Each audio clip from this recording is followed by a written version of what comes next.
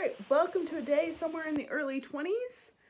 Check the label for what day it actually is. And uh, today's song is Amazing Grace.